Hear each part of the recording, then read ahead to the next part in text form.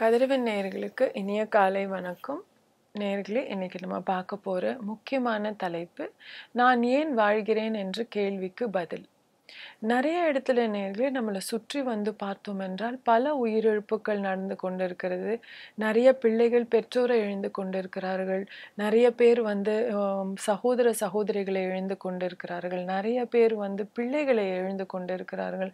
இப்படி ஏதாவது ஒரு விதத்தில் மரணம் வந்து ரொம்ப அச்சுறுத்தும் ஒரு விஷயமாக பயம்புறுத்தும் ஒரு விஷயமாக ஏதோ வந்து அதை நம்ம எதிர்பார்க்குற ஒரு விஷயமா இருக்கு. இல்லை வயசாகி அவங்களுக்கு உடல் நலம் சரியில்லாமல் அவர்கள் துவண்டு போவதை நம் கண்கள் முன்னாடி பார்த்து அவர்கள் கடந்து போவதையே நமக்கு ஏற்றுக்கொள்வது ரொம்ப சிரமமான ஒரு விஷயமா இருக்கும் பொழுது கொஞ்சம் கூட எதிர்பாக பார்த்தாத நிலைமையில வந்து திடீரென்று ஒரு நோய் உடன்பட்டு அவர்கள் உயிர் போவதும் இல்லை ஒரு விபத்துக்கு உடன்பட்டு அவர்கள் உயிர் போவதும் இப்படி வந்து பல அதிர்ச்சிக்குள்ளான விஷயங்கள் நடக்கும் பொழுது சுற்றி வந்து நம்மளை நிறைய இழப்புகள் சந்திக்கும் போது ஒரு ரொம்ப மன தோய்வுற்று நிலைமையில இருப்போம்.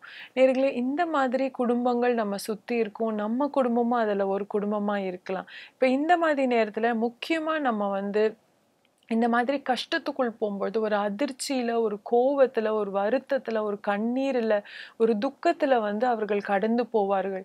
இந்த மாதிரி கடந்து போகும்போது நம்ம வந்து அவங்களுக்கு இருக்கிறோன்னு சொல்கிறதே ஒரு பெரிய உறுதுணை உறுதுணையான ஒரு கரிசனையாக இருக்குது அப்போ நாங்கள் இருக்கிறோம் எதுவாக இருந்தாலும் வாழ்க்கையை சந்திக்க எங்களால் முடிந்த அளவுக்கு நாங்கள் உங்களுக்கு உறுதுணையாக இருப்போம்னு நம்மளுடைய ஆறுதலை ப பகிர்ந்து கொள்வது என்பது ரொம்ப முக்கியமான ஒரு விஷயம்.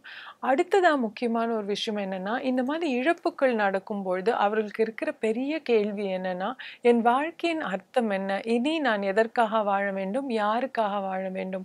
இந்த இழப்புகள் வந்து எவ்வளவு யார் யார் இழந்தார்களோ அவர்கள் இவர்கள் வாழ்க்கையில எவ்வளவு முக்கியத்துவம் சார்ந்தவர்களாக இருக்கிறார்களோ அவர்கள் மீது இவர்கள் எவ்வளவு சார்பு தன்மை ஏற்படுத்தி இருக்கிறார்களோ அதை பொறுத்து அந்த இழப்பின் மதிப்பீடு வந்து ரொம்ப பெருசா அவர்களை பாதிக்கும் என்பதை நாம் நினைவில் கொள்ள வேண்டும்.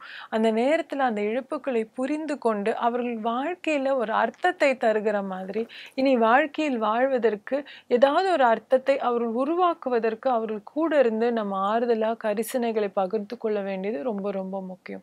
அப்ப இந்த மாதிரி இழப்புகள் மூட கடந்து வருகிறவர்களுக்கு நாம் பண்ண வேண்டிய முக்கியமான விஷயம் அவர்களுக்கு உறுதுணையா இருப்பது ஆறுதலா இருப்பது அதை விட ரொம்ப ரொம்ப முக்கியம். வாழ்க்கையில் ஏதாவது ஒரு அர்த்தத்தை ஒரு மீனிங்கை அவர்களுக்கு கண்டுபிடிக்க உதவி செய்யறது. நான் வாழணும்னா அதுல ஒரு அர்த்தம் இருக்குன்னு அவங்க நினைக்கும்படியா ஏதாவது ஒரு விஷயத்துல அவங்களுக்கு ஒரு அர்த்தத்தை கண்டுபிடிக்க அவங்களுக்கு உதவி செய்வது. அது சின்ன விஷயமானாலும் சரி பெரிய விஷயமானாலும் சரி இவங்க இருக்கிறாங்க அப்படிங்கிற ஒரு பக்கபலத்தோடு என் வாழ்க்கையிலே சரி இது இது இந்த விஷயம் கடந்து போய் அடுத்தது என் வாழ்க்கையில் ஏதாவது ஒரு சின்ன இலக்காவது ஒரு அர்த்தத்தையாவது ஏற்படுத்தி கொள்ள நம்மளால் இயன்ற வரை நாம் உதவி செய்வது நமக்கு இருக்கிற பெரிய கடமையாக இருக்கிறது.